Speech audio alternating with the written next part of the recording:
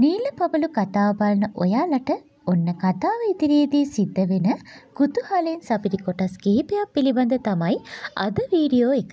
ඉතින් වීඩියෝ එකට යන්න කලින් ඔයාලා තාමත් මගේ YouTube නාලිකාව subscribe කරලා නැත්නම් දැන්ම subscribe කරලා all කියන බටන් එකත් ක්ලික් කරන්න. ඉතින් කොහොම වුණත් මෙන්න මේ වෙලාවේ රේෂ්මයි කුරුළුයි කතා වෙන්නේ ඇත්තටම අභිමන්ට මොකද වුනේ කියලා. ඉතින් ඇත්තටම සිද්ධ වෙලා තියෙන්නේ මේ වෙද්දී අභිමන්ව දූපතකට පැහැරගෙන ගිහිල්ලා. ඉතින් ඒ කවුද කියන එක ගැන තමයි බොහෝ දෙනා බලාගෙන ඉන්නේ. ඇත්තටම කුරුළු මේ වෙලාවේ හිතාගෙන ඉන්නේ මෙච්චර දෙයක් වෙලත් ලොයිඩ් සහ ආදිත්‍ය කිසිම කලබලයක් නැතුව පාඩුවේ ඉන්නේ කොහොමද කියලා. ඉතින් මෙන්න මේ සැකෙත් එක්ක කුරුළු ආදිත්‍යගෙන් අහනවා ඔයාද ඇත්තටම අභිමන්ව පැහැරගත්තේ කියලා. ඉතින් ඒ වෙලාවේ ආදිත්‍ය කුරුල්ලට හොඳටම බැනවදිනවා.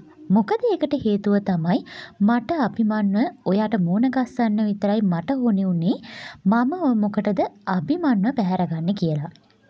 ඉතින් මේ කතාවේ හැටියට ඇත්තටම මේ දේ කරලා තියෙන්නේ නම් ලොයිඩ්.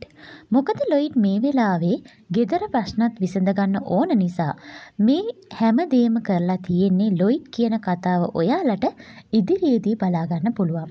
මොකද රිෂිලගේ ආත්මයත් ලොයිඩ්ලගේ ගෙදරට ඇවිල්ලා කරදර කරන නිසා ඒකෙන් බේරගන්න අභිමන්ව මෙන්න මේ විදිහට දූපතක හංගලා ඉන්න එකම කෙනා තමයි ලොයිඩ්.